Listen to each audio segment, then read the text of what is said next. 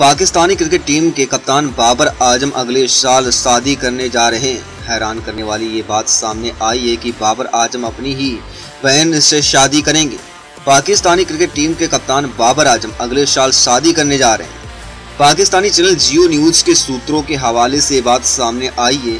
Pakistani cricket team के कप्तान बाबर आज़म और उनकी चचेरी बहन के परिवारों के बीच इस कपल की शादी की बात सहमति बनी है। दोनों की शादी अगले साल होगी। सूत्रों से पता चला है कि बाबर आज़म अपने चाचा की बेटी से शादी करने के लिए तैयार हो गए